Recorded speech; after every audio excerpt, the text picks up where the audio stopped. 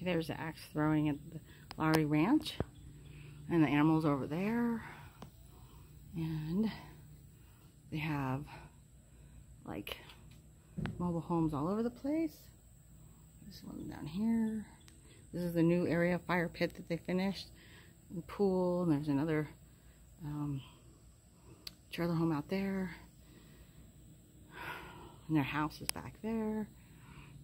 And there's a new game here. I tried it, finally did it. It's really fun. Fun weekend.